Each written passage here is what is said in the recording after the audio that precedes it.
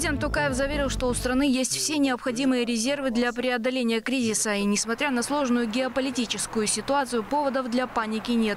По словам главы государства, Казахстан столкнулся с беспрецедентными экономическими трудностями на фоне обострения происходящего в мире. Антироссийские санкции уже сегодня приводят к серьезным издержкам для всей глобальной экономики.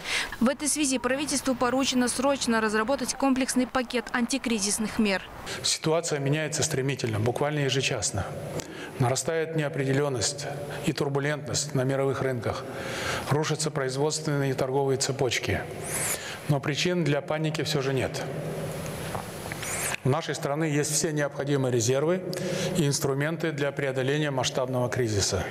Правительство обязано в срочном порядке реализовать комплексный пакет первоочередных антикризисных мер.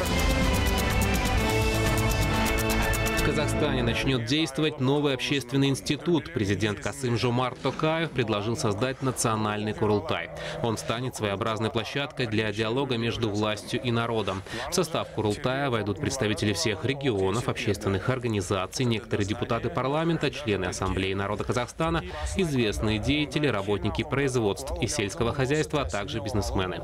Члены общественного совета будут собираться на постоянной основе для обсуждения важных вопросов. Мы должны модернизировать традиции степной демократии, которые стали основой нашего единства. Национальные советы общественного доверия выполнили свои функции успешно.